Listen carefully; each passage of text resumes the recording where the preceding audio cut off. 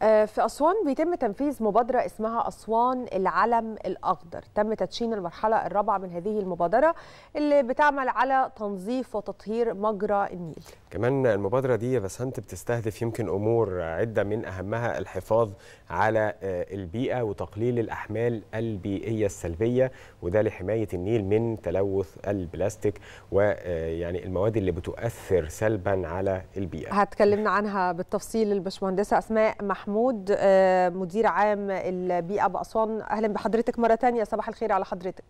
أهلا وسهلا. صباح النور يا فندم. أهلا بيكي. صباح الخير عليك يا باشمهندسة. عاوزين نعرف منك في البداية تفاصيل أعمال المبادرة البيئية والفعاليات اللي بتشهدها هذه المبادرة. طبعا كلنا لمسنا جهود الدولة في التطوير الهائل اللي بيحصل في جمهورية مصر العربية بقيادة سيادة الرئيس عبد الفتاح السيسي. نعم. في جميع المجالات وعلى جميع المحاور. وكان على رأسها كان كان على رأسها الاهتمام بالبيئة. طبعا دي كانت من أولويات المحاور المهتمة بها سيادة الرئيس. نعم. وكان واضح جهوده سيادته والدولة في التطوير وللبيئة التطوير والحفاظ على البيئة. نعم. وكان من أهم محاور تطوير البيئة حل مشكلة الاحتباس الحراري. طبعا تم إطلاق بمعرفة سيادته ووزارة البيئة مبادرة تحضر للأخضر. دي كانت من كام سنة. صحيح. وقام بتعميم المبادرة على جميع المحافظات. طبعا من خلال إطلاق المبادرة انطلقت مجالات كتير ومحاور كتير تحت مسمى مبادرة تحضر للأخضر.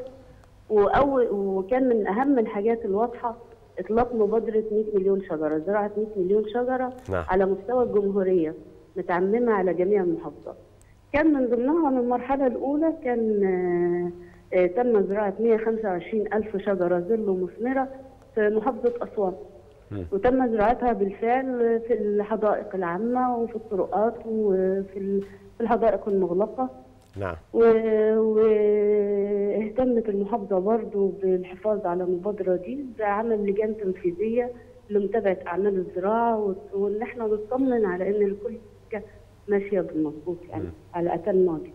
طيب باشمهندسة آه. أسماء يعني ال- النيل هو شريان الحياة لدى المصريين بشكل عام آم، مين اللي بيشارك معاكم في تنفيذ أعمال المبادرة ده سؤال تاني حاجة إزاي بيتم رفع الوعي لدى المواطنين في أسوان إن هم محتاجين يعرفوا آم، خطورة آه، إن إحنا نبقى بنلوث مياه النيل وأهمية إن إحنا نحافظ على آه، البيئة فبالتالي ننظف النيل من يمكن آه، المشاكل اللي إحنا بنشوفها دايما وعلى فكرة هي موجودة في محافظات كتيرة مش بس في أسوان يعني طبعاً. نتمنى تعميمها يعني هل في متطوعين؟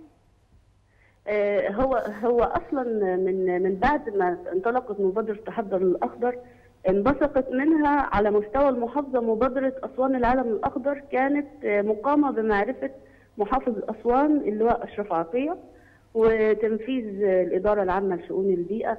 طبعا عملنا كادر البيئة المستدام نعم. أشركنا فيه الجامعة وطلبة آه، وشباب وطلبة المدارس وجهات مجتمعية غير هادفة للربح.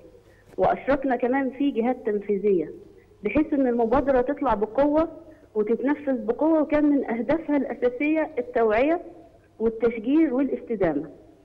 طبعا المبادرة أطلقناها في العام الماضي أو ما يقرب عام ونصف آه، والمبادرة دي بت- بتتجدد بت- بنعمل انطلاقات وإيفنتات كل ثلاث شهور ربع سنويا. نعم استهدفنا في أول انطلاقة ليها آه، التوعية بالتشجير طبعا. قمنا بتشجير آه، 2000 شجره مثمرة وظل في الطرقات والطرقات المؤديه للمدارس نعم. يعني و- نقدر نقول يا والجزر. باشمهندسه إن هي آه، مبادرة مبادرة بيئية توعوية في المقام الأول. الهدف منها توعية آه، المواطنين بالسلوك ووضعهم يعني أمام مسؤوليتهم تجاه البيئة لأن إحنا زي ما إحنا عارفين إن الموضوع مش موضوع حكومات ولا دول لا هو الموضوع موضوع شعوب. لابد أن نتكاتف جميعا في هذه المرحلة حتى ننجو من الآثار البيئية اللي يمكن فعلا زي ما قالت بسنت بدأنا نلمس يعني التغيرات فيها. بنشكر حضرتك الباشمهندسة آه، أسماء محمود مدير عام البيئة بأسوان.